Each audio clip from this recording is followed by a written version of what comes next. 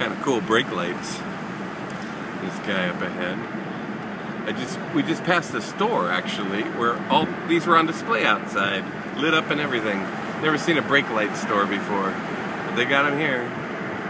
On the way to Veracruz.